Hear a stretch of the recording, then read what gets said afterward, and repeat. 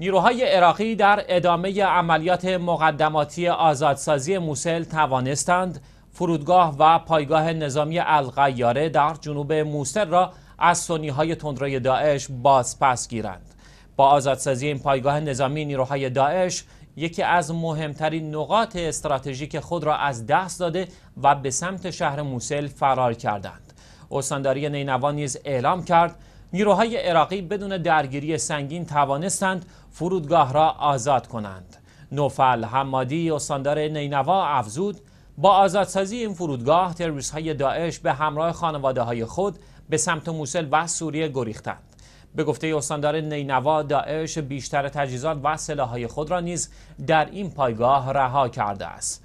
پایگاه هوایی القیاره در 73 کیلومتری جنوب موسل مرکز راهبردی مهم منطقه محسوب می شود و می تواند نقش عمده در عملیات آزادسازی موسل ایفا کند.